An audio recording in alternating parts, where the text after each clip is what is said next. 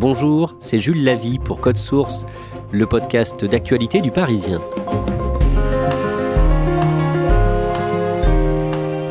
Depuis l'automne 2021, le service police-justice du Parisien couvre une affaire hors norme. Dans le Vaucluse, un retraité de 70 ans est soupçonné d'avoir drogué son épouse pendant des années pour la livrer inconsciente à des inconnus trouvés sur Internet. Et on a appris en début d'année que cet homme a été mis en examen pour deux autres crimes, une tentative de viol en 1999 et un meurtre commis en 1991. Nous faisons le point sur cette affaire aujourd'hui dans Code Source deux journalistes du service police-justice du Parisien, Jean-Michel Descugis et Louise Colcombé. Attention, malgré nos précautions, ce podcast peut heurter votre sensibilité.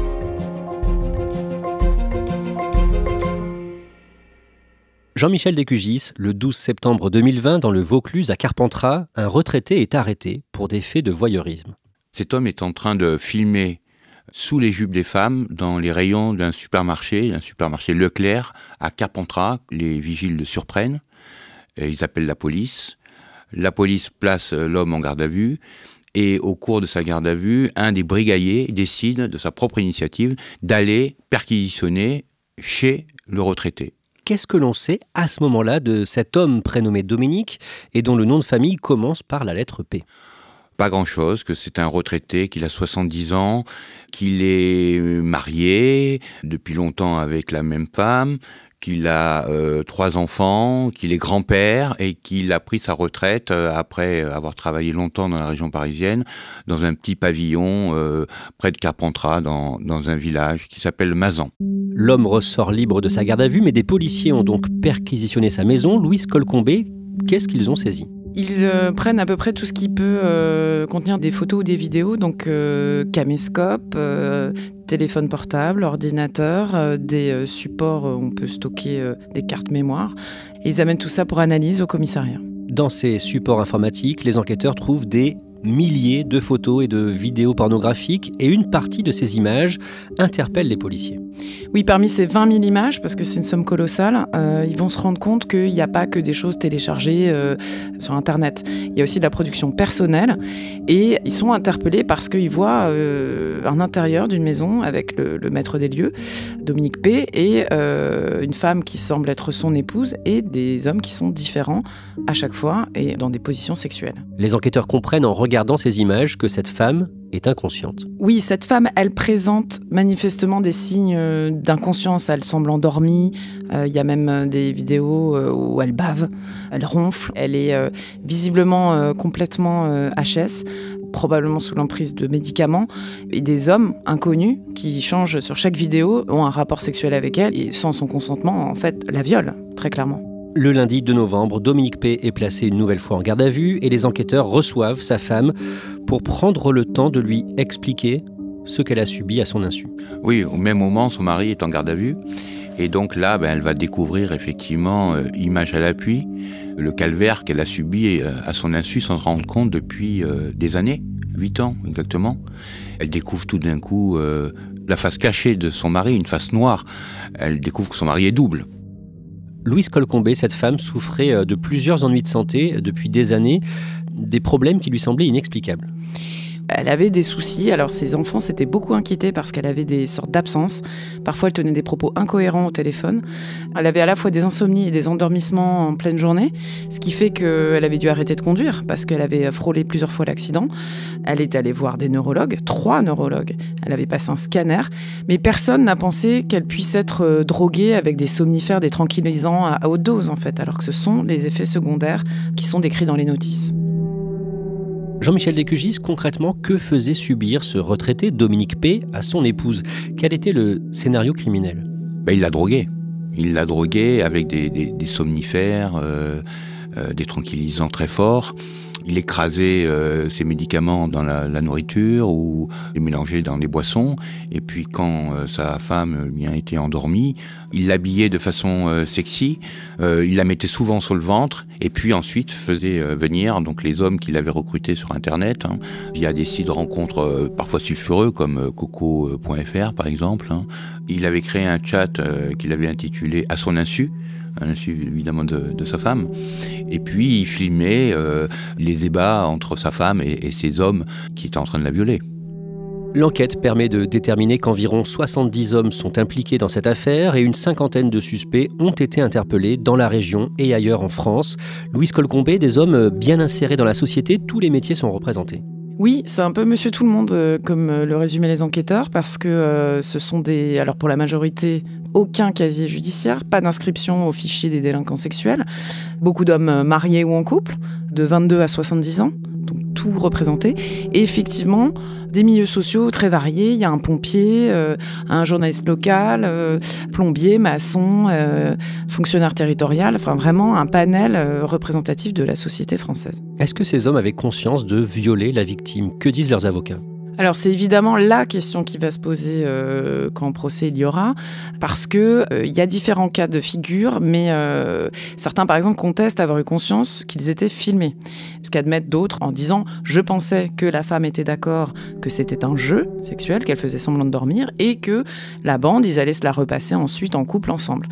Ils pensaient que c'était une mise en scène en fait entre époux, soit qu'elle faisait semblant de dormir, soit qu'elle avait peut-être été un peu shootée, mais mais avec son accord. Il y a aussi le fait que pour certains, bah, ils sont pas allés chercher beaucoup plus loin que euh, le mari est d'accord, il me donne son autorisation, donc, euh, bah, donc voilà, c'est bon quoi. Comme si quelque part le mari il avait une forme d'autorité sur sa femme et que c'est pas vraiment elle qui décidait, ou en tout cas ça va de soi quoi. Si le mari est ok, voilà. Et ça c'est un vrai problème parce qu'on est sur des visions un peu archaïques euh, du couple et du consentement de la femme qui se heurtent à la réalité parce que là c'est considéré comme un viol. Certains ont trouvé tout cela très suspect. Oui, la plupart de ces personnes sont venues en réalité qu'une fois, parce qu'ils ont quand même trouvé que le scénario qui leur avait été servi, évidemment Dominique P lui dit qu'il avait prévenu tout le monde hein, que, sa femme euh, était endormie, mais eux, ils ne disent pas cela. Et ils expliquent que le scénario était ambigu et qu'ils ont eu un mauvais feeling en partant et qu'ils se sont dit ça, je refais pas. Il y en a même un, en fait, il est poursuivi que pour euh, des attouchements sexuels, mais il n'a pas fait grand chose parce qu'il a compris en fait ce qui se passait et il est parti assez vite. Pour au moins une partie des cas, les enquêteurs ont la preuve que ces hommes savaient en fait que la victime était inconsciente. Oui, parce qu'il y a les enregistrements vidéo. Il y en a un notamment où on l'entend, le mari dit attention, tu lui parles pas, faut même pas chuchoter, faut pas qu'elle se réveille. Très embêtant. Et puis il y a le, protocole. Il fallait pas se garer devant la maison, mais sur un parking qui était situé à quelques mètres. Il fallait se déshabiller dans la cuisine parce que en cas de départ précipité, hop, il pouvait reprendre ses habits et courir dehors. Il fallait se réchauffer les mains sur le radiateur pour pas que les mains froides puissent réveiller la femme. Il fallait ne pas fumer, ne pas s'être parfumé pour pas que l'odeur puisse l'interpeller ou qu'elle sente quelque chose sur elle ensuite. Donc tout ça été minutieusement préparé. Et pour l'avocate de cette femme et pour euh, les enquêteurs et la juge d'instruction, ces hommes ne peuvent pas dire qu'ils ignoraient ce qu'ils étaient en train de faire. Quand les enquêteurs exposent les faits euh, à cette femme, Louise Colcombé, pour elle, c'est toute sa vie qui s'effondre. Ils se connaissent depuis 50 ans, ils ont été mariés, enfin, c'est l'amour d'une vie en fait. Elle a construit toute sa vie avec cet homme, ils ont eu trois enfants.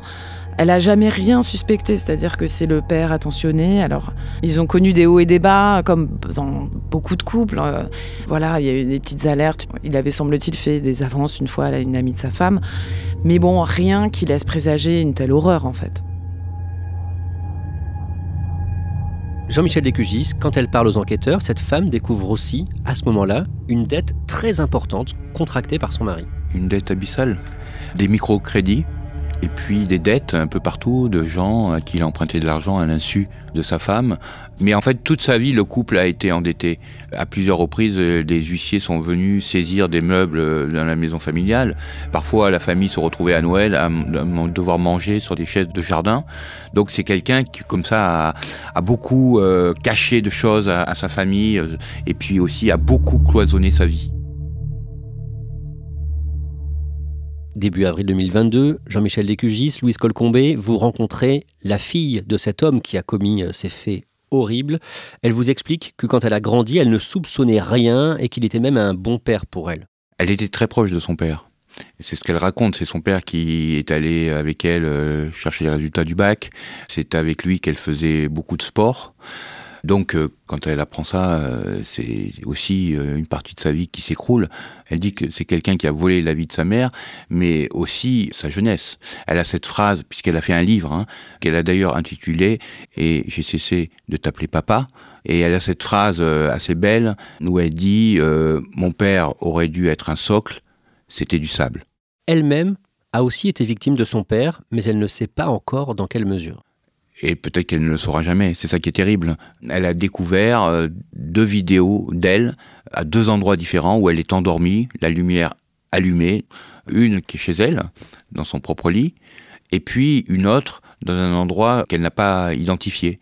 Et à chaque fois, euh, dans des positions de sommeil euh, où elle n'a pas l'habitude d'être, et en tenue de nuit. Et elle se demande si son père euh, ne l'a pas droguée et peut-être même euh, abusé d'elle. Et l'homme, Dominique P., a pris plusieurs images de femmes de son entourage, dont ses belles-filles, les épouses de ses fils. Oui, en fait, euh, dans l'exploitation des images, on s'est aussi rendu compte qu'il avait posé une caméra dans la, salle de bain de la maison familiale dans le sud. Donc en fait, c'est quelqu'un qui avait un trouble sur le voyeurisme en général. À ce moment-là, dans l'interview qu'elle vous accorde pour Le Parisien, la fille de Dominique P. alerte sur les dangers de la soumission chimique, y compris au sein des familles. C'est vrai que c'est l'un des enseignements euh, de ce dossier et Cathy Richard, son avocate, explique aussi bien ça. C'est-à-dire c'est complètement méconnu. On pense forcément GHB, milieu festif, euh, jeune fille euh, avec abus sexuels. Alors certes, les abus sexuels, c'est des choses qu'on retrouve qui sont un point commun, mais pas seulement. Je me suis moi-même penchée un peu sur le problème, et en fait, on en retrouve des affaires qui sont jugées, des maris qui euh, veulent obtenir euh, des choses avec leurs femmes et qui, pour ce faire, euh, les droguent. On ne s'en doute jamais parce que c'est trop incroyable pour l'envisager. Et deuxièmement, les professionnels ne sont pas formés. Donc, il y a un vrai problème sur ça. C'est plus courant, et on peut mettre quelqu'un sous soumission chimique avec ce qu'on trouve dans la plupart des pharmacies des Français, hein, somnifères, même les antihistaminiques pour les allergies. Cette affaire qui était déjà hors du commun ne s'arrête pas là. Au mois d'août 2022, l'ADN de cet homme, Dominique P., match dans un dossier non élucidé, un cold case, la tentative de viol d'une jeune femme en 1999, c'était le 11 mai 1999, à Villeparisis, en Seine-et-Marne. Jean-Michel Descugis, racontez-nous ce que cette jeune femme, une agente immobilière de 19 ans, a subi, jeune femme que nous appellerons Elodie. Elle est contactée parce que l'homme rentre dans une agence immobilière et demande à visiter un appartement. Cet appartement se trouve à Villeparisis. Et dès qu'il rentre dans l'appartement, il saute sur cette jeune femme, il lui met un cutter sous le cou, lui demande de se positionner sur le ventre, lui ligote les mains et lui met sur le visage un mouchoir imbibé d'éther. Elle a un instinct de survie parce qu'elle sent bien l'éther, elle sait que si elle tombe dans les vapes, euh, c'est fini pour elle. Donc elle arrive dans un sursaut à donner un coup de pied dans les parties intimes de Dominique P, qui évidemment bat un peu en retraite. Elle parvient encore à s'extraire une main qui était ligotée et euh, tant bien que mal à, marcher jusqu'à un dressing où elle s'enferme. Et lui, il va prendre la fuite. il va prendre la fuite d'ailleurs étrangement avec euh, la voiture, cette jeune femme, qu'elle retrouvera ensuite à proximité de l'agence immobilière. Jean-Michel Descugis, en 2022, le 12 octobre, Dominique P. est extrait de la cellule où il est en détention provisoire et placé en garde à vue à l'évêché, le siège de la police judiciaire de Marseille.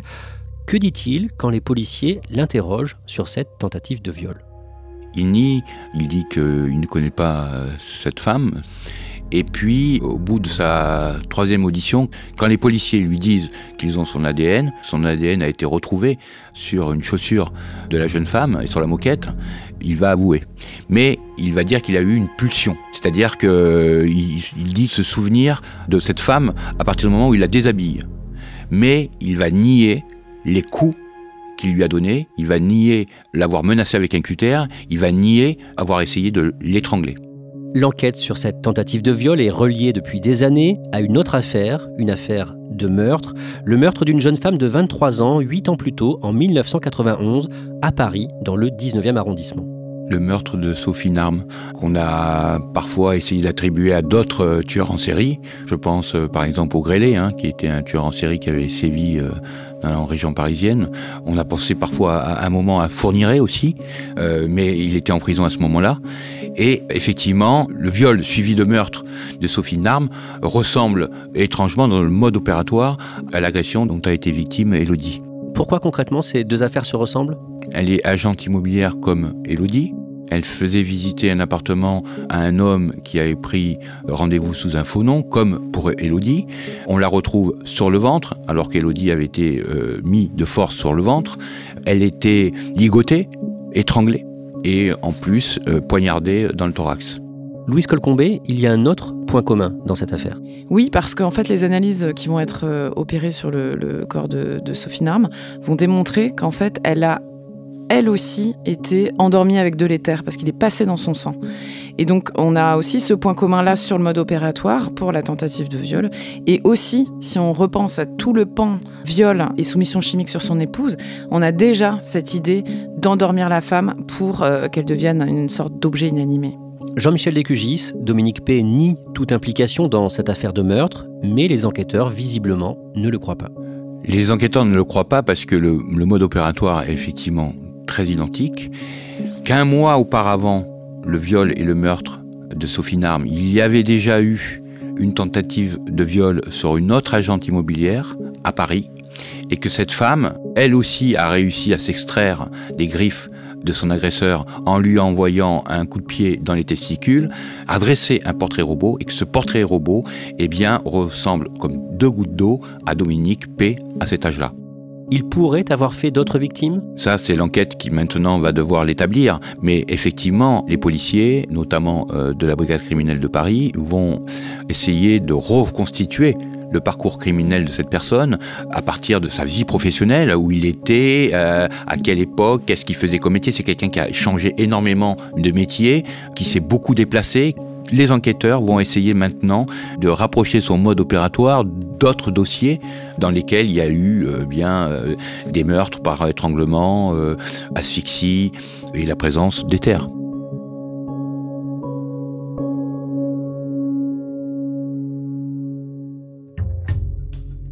Merci Jean-Michel Descugis, Louise Colcombé, Dominique P. est mise en examen pour les faits dont on a parlé dans ce podcast, y compris le meurtre de Sophie Narme en 1991.